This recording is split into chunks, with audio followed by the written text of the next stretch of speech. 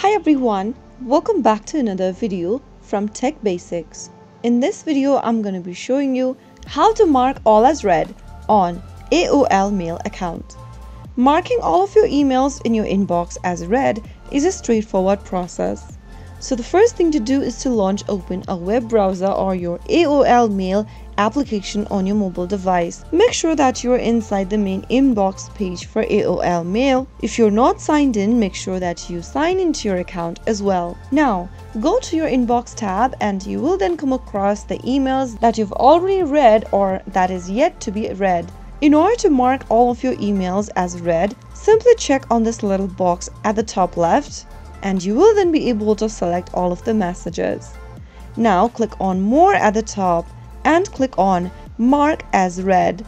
Soon after you do that, you will be able to mark all of the messages on your inbox as read. That is how it's easily done. If you found the video to be helpful, go ahead and give us a thumbs up. Don't forget to subscribe to our channel by hitting the subscribe button.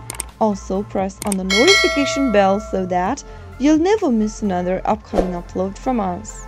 I will be back again in the next episode. Thank you for watching.